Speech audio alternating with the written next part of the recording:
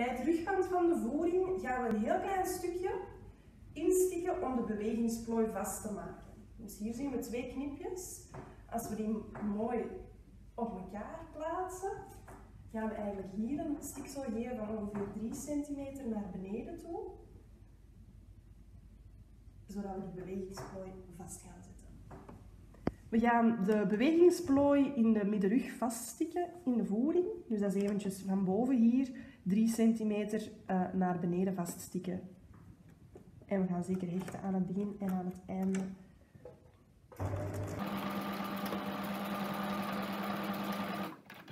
Dat is ongeveer 3 centimeter.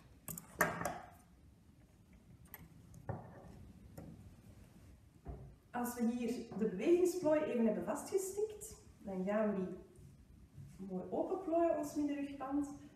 En dan gaan we het halsbelegje, dat eigenlijk hier zo aan moet komen, gaan we moeten aanspelden en dat is holle tegen bolle kant. Dus je gaat hier ook heel goed moeten zien dat de knipjes, de merktekens, mooi overeenkomen.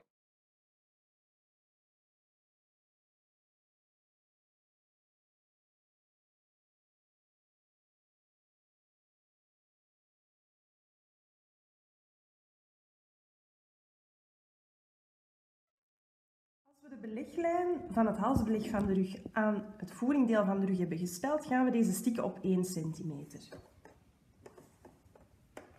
We hechten aan het begin en aan het einde.